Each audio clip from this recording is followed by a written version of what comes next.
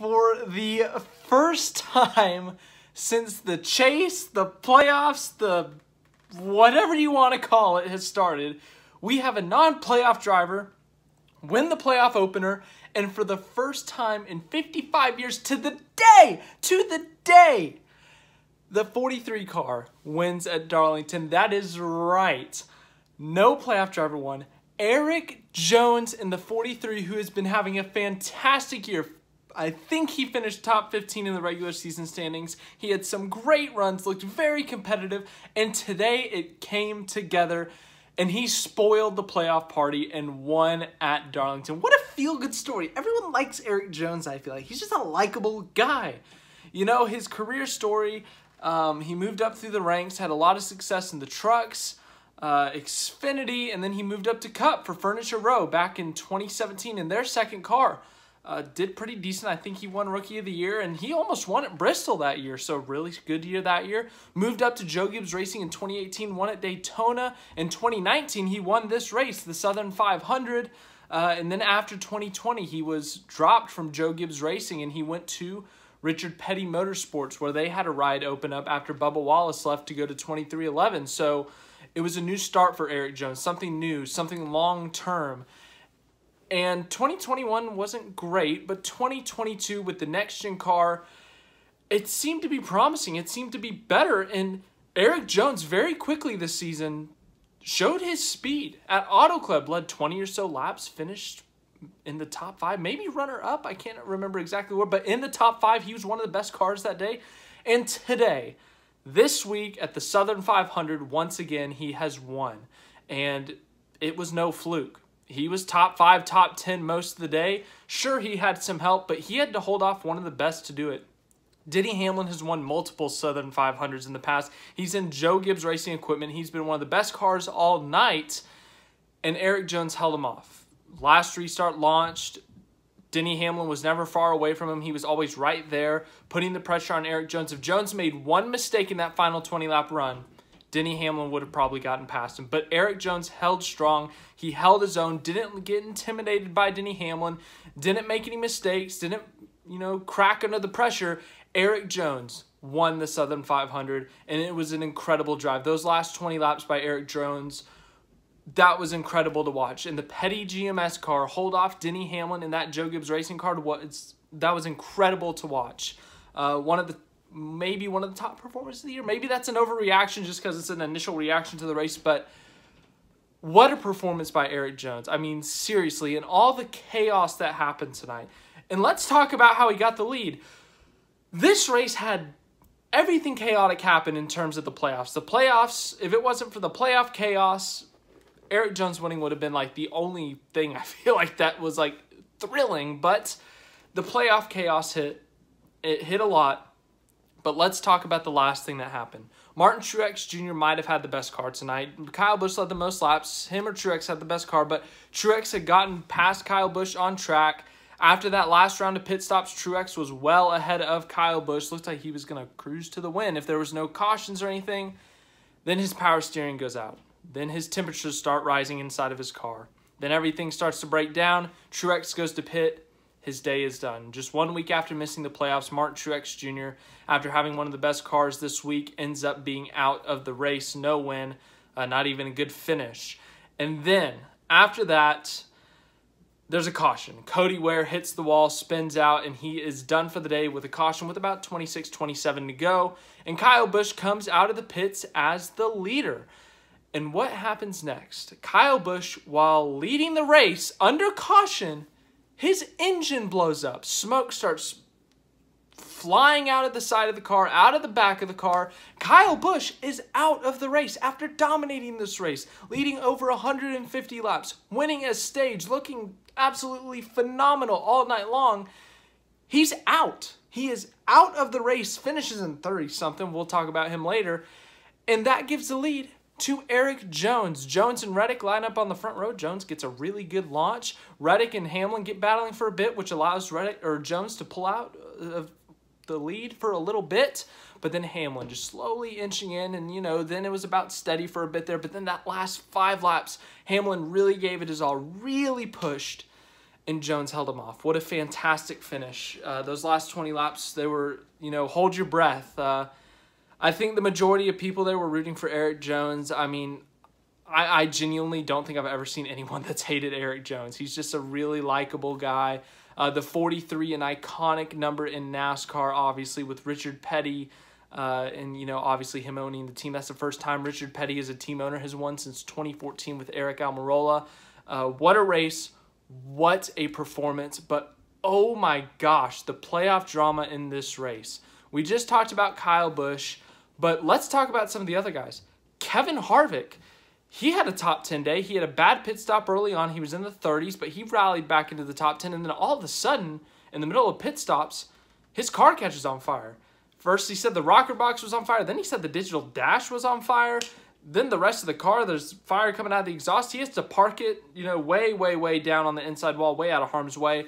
It took him a while to throw the caution, which was a bit concerning, but, you know, he did get out of the car safely. He was okay. But Harvick was furious in his post-race interview, or his exit interview, whatever you want to call it. He was calling the car crappy. He said the design of the car is crappy. It's cheap parts.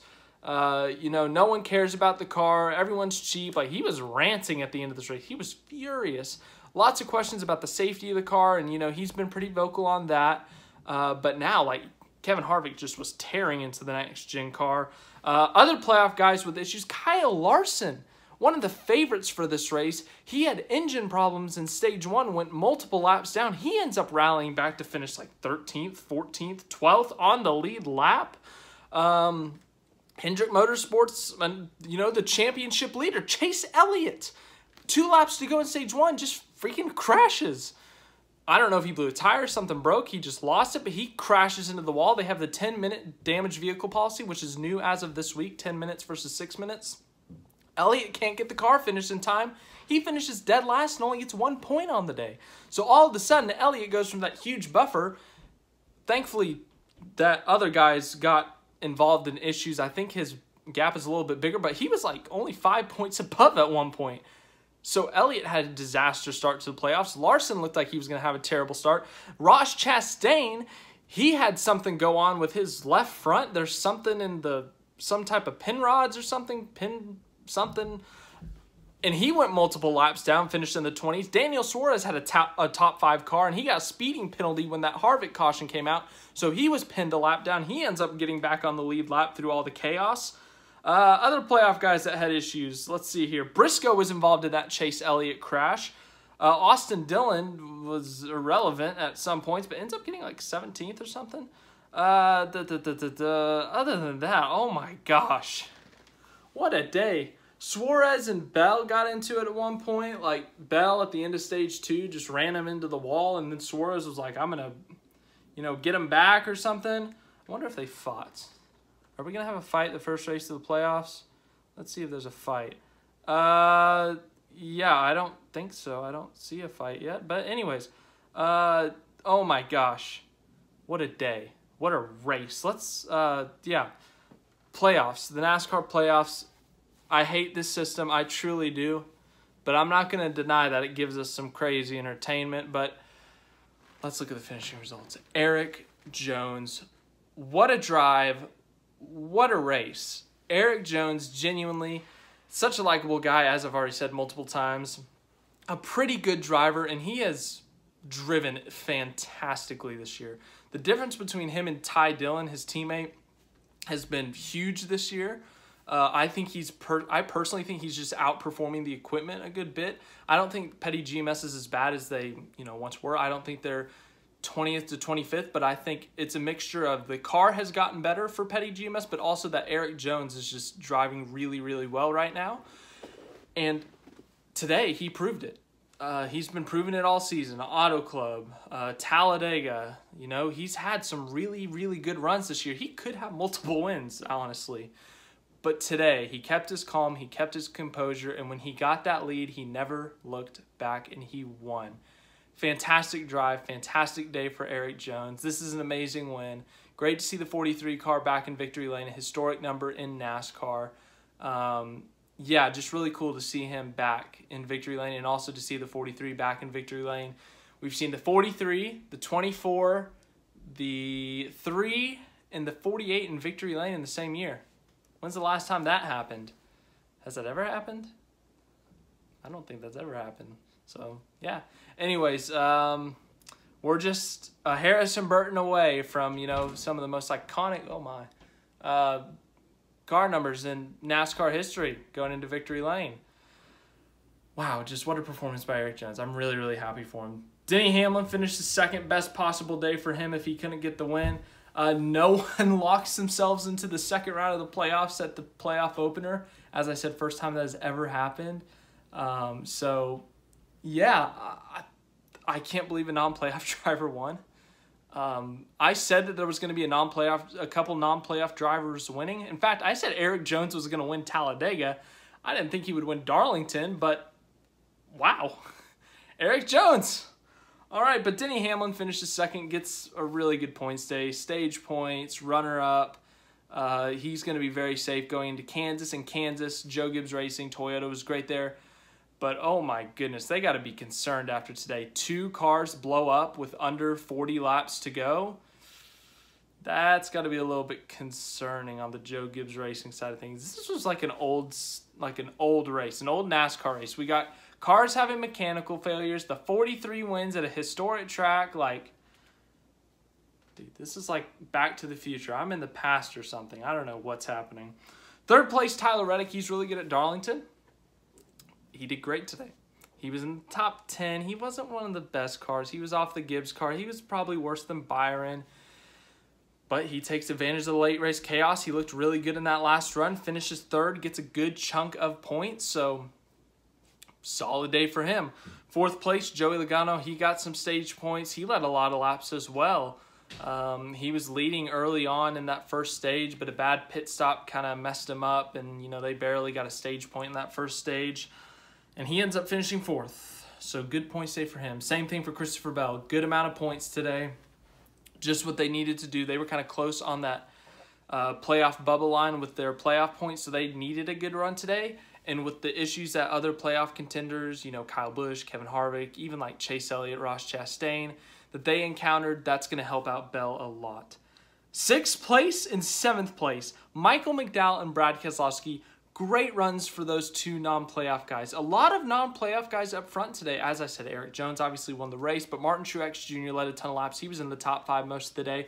Michael McDowell had a great qualifying session, and he ends up being in the top 10 most a good chunk of the day. Finishes sixth. Brad Keselowski finishes in seventh. Bubba Wallace, you see him back there in ninth.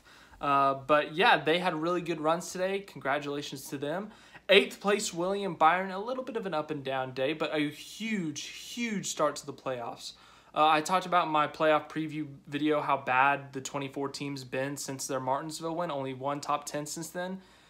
Today, they looked great. They looked like that beginning of the season 24 team at the beginning of this race. They laid a ton of laps. They won that first stage. They were up in the top five. Um, but they at one point had a little bit of a scare with uh, a potential exhaust issue, but you know that ended up resolving itself. Then Byron was pinned a lap down. I think he had to take the wave around for that caution for Harvick. That kind of put him behind a little bit, but he ends up rallying back for an eighth place finish. So a top 10 in the playoff opener when other guys had problems is actually a really, really good run for William Byron. Ninth place, Bubba Wallace, huge for him, huge for the 45 team in terms of the Owners' Championship. Uh, that's why they put Bubba Wallace in that 45 car. He was a good top 15 car today. Ends up in the top 10, so a really good run for him. Uh, 10th place, Alex Bowman. A kind of a quiet day, but a top 10. No issues. He got a few stage points in stage two. He did everything right. No problems, no run ins. Just stayed right there. Avoided trouble. Watched other people have trouble. Got a top 10. 11th, Aric Almirola. 12th, Kyle Larson. Oh my word. Uh, yeah, Larson started up in the fifth position, I want to say, uh, and then fell back into tenth. Was kind of just hanging around there, and then all of a sudden the engine just decides to die. His engine blew back in the spring at Darlington. Had an engine problem last week at Daytona. He's had other engine problems. I think it was at Phoenix. So that was a bit concerning. But then all of a sudden it just decided to revive itself, and everything came back. And Larson just kind of rode around multiple laps down, three to four laps down, and he ends up, you know, taking some wave rounds, getting a free pass, gets back on the lead lap through all the chaos, and finishes 12th. Considering how the day started for them, I think 12th is a great result. Uh, yeah. 13th, Ryan Blaney, a decent day for him. He was in the top five, top 10 at times, but Darlington's never really been his best track. But 13th, considering the problems others had, we'll look at the grid here in a bit. Not bad. 14th, Cole Custer. Not bad. Ty Gibbs, he honestly wasn't great today. He was in the 20s for the most part, but took advantage of that late race caution or one of those cautions to get back on the lead lap into the top 10 and a 15th is not bad for your first cup race at Darlington, especially your first Southern 500. 16th, Austin Cindric, he's a playoff driver. 17th, Austin Dillon. Um, Dillon had a very, very up and down day. Terrible first stint, fell back into the 30s. Um, you know, at some point he was up in the top 15, and then he ends up finishing 17th. So considering how bad the day started, 17th isn't too bad. 18th, Daniel Suarez. This one hurts. Uh, Suarez started the day in the pit lane. Uh, they had a failed pre-race inspection three times, and they had to start from the rear and do a pass through on lap one, go a lap down, rain hits, and they end up getting their lap back pretty much immediately, but they're still at the back. Suarez charges through the field, gets up into the top five, has a run in with Bell, almost crashes, but he does survive. Then he was up into fourth, and he looked really good. Was challenging some of the JGR cars at time. then that last pit stop, speeding on pit road. You cannot have these errors in the playoffs when, especially when you have such a good car and you're in such a tight points position. Suarez speeds. He gets pinned a lap down and yeah, he ends up getting his lap back, but he finishes 18th. This truly could have been a top five day for Suarez. This is a very disappointing result. I think he could have had a shot at the win there if he had not had that penalty, but unfortunately, that's not how this works. Uh, Suarez, hopefully, they can learn from that mistake, uh, overcome it, advance. So, really good speed for them, promising speed, but just an unfortunate result. Haley, 19th, 20th. Chastain, as I said, he had issues, some type of mechanical issue, and he ends up finishing 20th uh, yeah, they went three or four laps down, just like Larson, but they end up finishing a lap down in 20th. A bad start to the playoffs for them. 21st, Harrison Burton. 22nd, Ty Dillon. 23rd, Daniel Hemric. 24th, Corey LaJoie, actually. Pretty decent day, showed some speed, stayed out on one of those restarts, and actually was in the top 10 for a good bit on old tires. It was very impressive. 25th, Landon Cassill. 26th, Chris Buescher. 27th, Chase Briscoe already in a hole entering the playoffs with not a lot of playoff points, you know, expected to be a first round elimination just due to his inconsistency. And they had a bad start, and then they got involved in a wreck with Chase Elliott, and they're going to be in a deficit here. 28th, Todd Gilliland. 29th, BJ McLeod. 30th, Kyle Busch. Oh my gosh, Kyle Busch.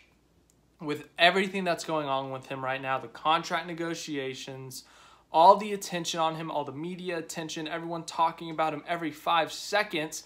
What's he going to do next year? He finally puts together probably his best run of the season, one of his best cars, his best runs all season long, and the engine blows up while he's leading under caution with under 30 to go. That's got to be like so gut wrenching. Yeah, that's tough. Uh, we'll look at his points position here in a minute. 31st, Martin Truex Jr. It just seems like nothing can go right for him. Uh, he's had the second highest average finish of the year behind Chase Elliott. He's top six or seven in laps led this year. Uh, he finished fourth in the regular season standings, but he missed the playoffs by three points because there were so many winners. Today, it looks like he's going to get his first win of the season. Looks like one of the best cars.